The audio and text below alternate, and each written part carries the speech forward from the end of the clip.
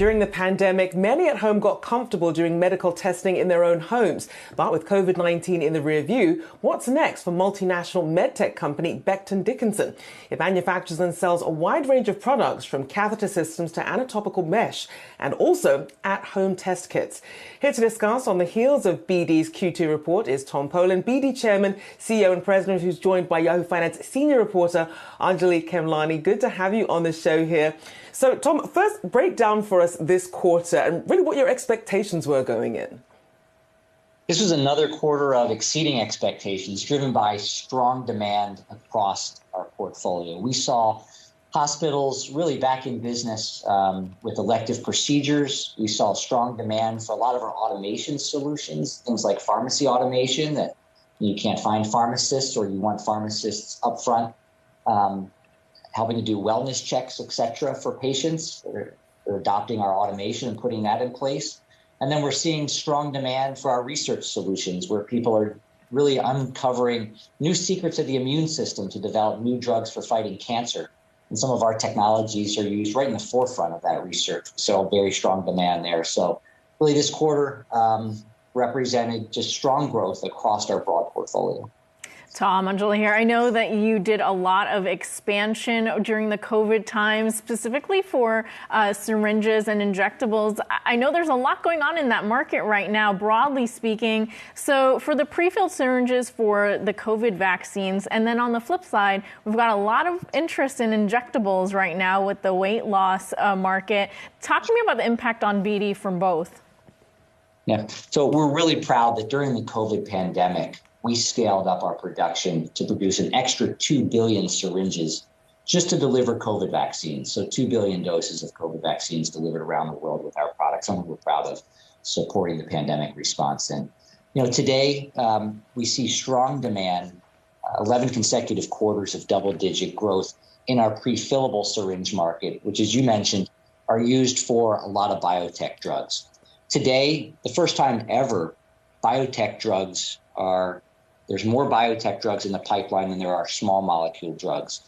And almost all biotech drugs are delivered via injection, which we're the market leader in. And so we don't disclose specific um, customers that we have, but we do. We are by far the world leader. And that strong pipeline of new molecules that are coming out for conditions like weight loss, but also cancer treatment and other chronic diseases, um, we're seeing strong demand in our customer categories.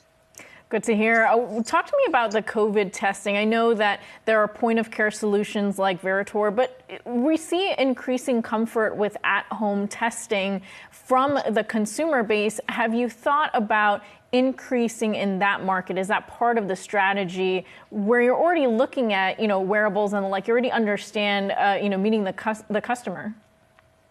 Absolutely. So first off, it's a great thing that COVID testing is going down. That's a big positive for the world. Um, what we saw is, is that, as you mentioned, Veritor and our Max Molecular platform, we saw strong placements of those systems for COVID testing.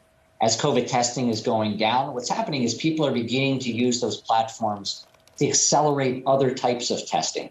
And so we're seeing strong utilization of those systems for doing things like um, cancer screening uh, for cervical cancer, for um, GI infections, for vaginitis. And so those platforms that were invested in during COVID are benefiting patients in other ways today um, as customers are utilizing that more advanced technology to benefit patients. When it comes to moving care into the home, that's one of the most significant areas of investment that we're, we're making today.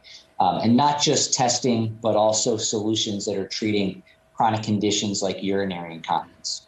Actually, just this past quarter, we submitted uh, a new product to the FDA that is aimed at allowing blood to be collected not through a venipuncture, but by a capillary finger stick that could enable blood to be collected, for example, in your retail clinic, and eventually for you to collect your own blood at home is our aim.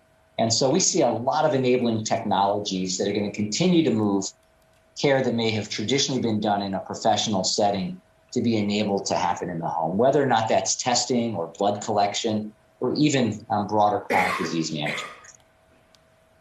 And, and, as we sort of we're moving past this emergency phase of COVID, do you expect COVID testing to become seasonal? What does the new normal look like in that space?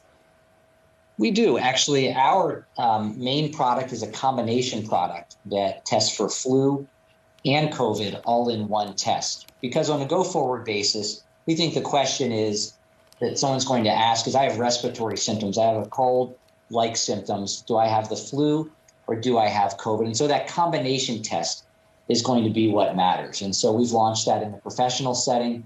Uh, we've been doing work to see can we bring that test into the home care setting, which doesn't exist really today in a rapid test format.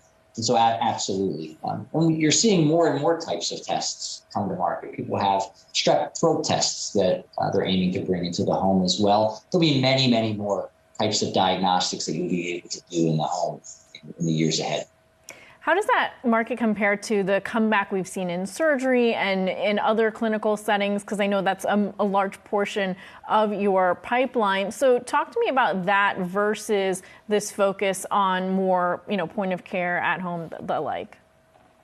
Yeah, that's another major area that we're focused on are, are those technologies for the hospital as, as well. And as you said, what we're seeing is there was major labor shortages during the pandemic um, in hospitals hospitals have found ways to um, advance that. And so you're seeing backlogs of procedures starting to work their way through the system.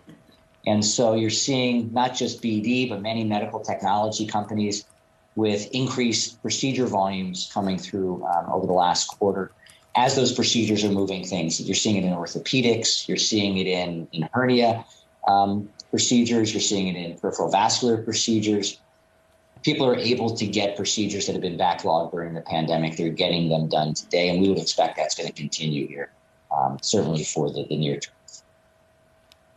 We'll certainly be tracking that. We do appreciate you joining us this morning. Tom Polen, BD CEO, and Yahoo Finance's Anjali Khemlani. Thanks so much.